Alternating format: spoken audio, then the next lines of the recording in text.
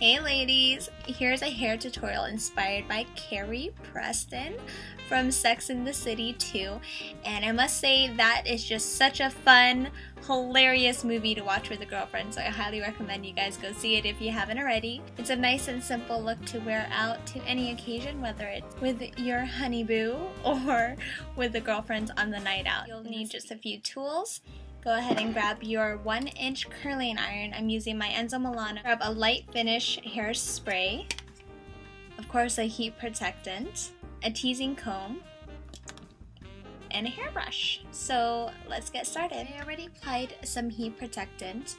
Now I'm going to curl my hair. And as always, make sure that you section off your hair so that you get all the pieces to curl. This time we're going to curl our hair all in one direction. So I'm going to go outwards from the face.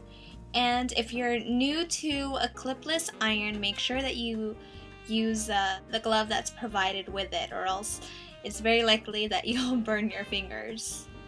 So I'm going to keep this on for about 8 seconds and then let it flow down.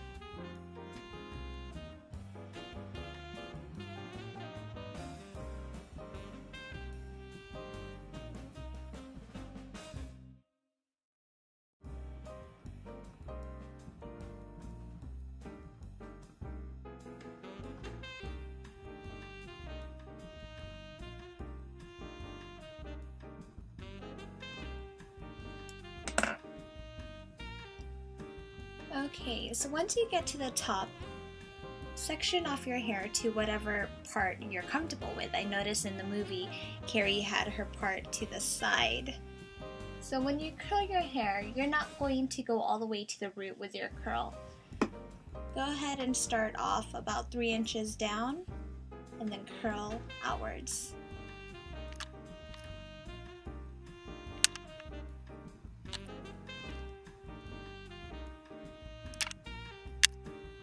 I just finished curling my hair and it took me about 10 minutes.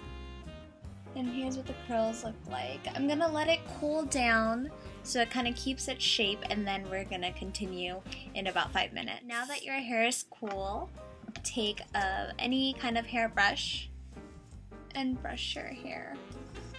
So then it creates waves.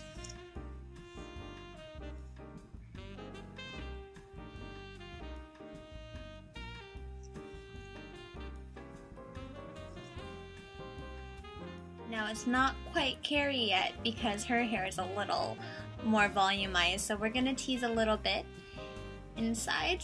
Now I'm to use a little bit of light hairspray. I'm to spray all over.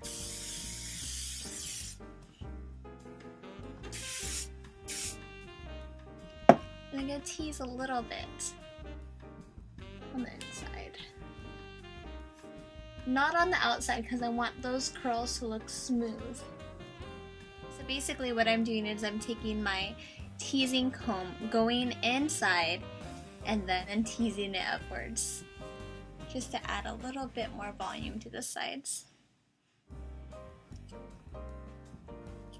And then one more finishing touch with the hairspray. Alright, here's the final look. I hope you guys enjoy it and enjoy your weekend out with the ladies. I'll talk to you guys later. Bye!